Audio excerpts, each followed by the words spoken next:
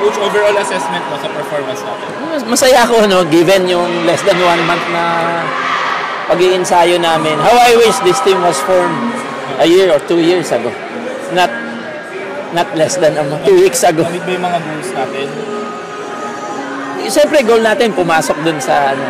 Nangangarap tayo na ganun. Siyempre, hindi natin na-meet yun. Pero yung experience dun sa nabigay niyan sa bata, malaking bagay yun.